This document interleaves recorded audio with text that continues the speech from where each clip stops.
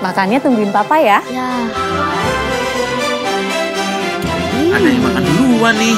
Sup bakso ala Masako. Hmm.